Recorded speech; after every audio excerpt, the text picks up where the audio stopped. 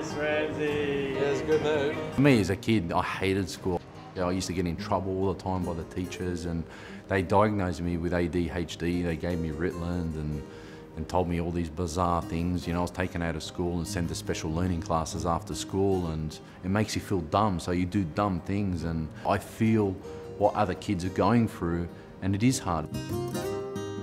I was lucky for my father was an amazing entrepreneur. I was always exposed to hospitality-based businesses uh, from a very young age. At the age of 18, 19, I bought my first cafe in Bondi Beach called Healthy and Delicious.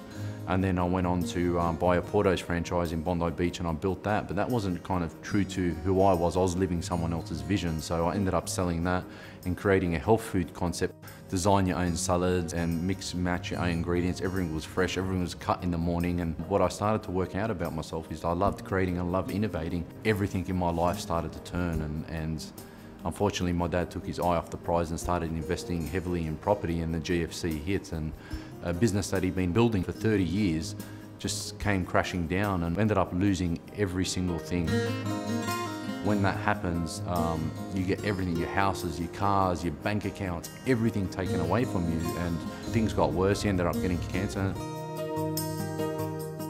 I think it was an amazing reality check for me to understand what it feels like to have nothing. Definitely it created fire and then him passing away created even more fire, you know. As much as it's bad, was one of the best lessons I could have ever had in my life. A need for looking after my family and honouring him. That's basically how the grounds was born.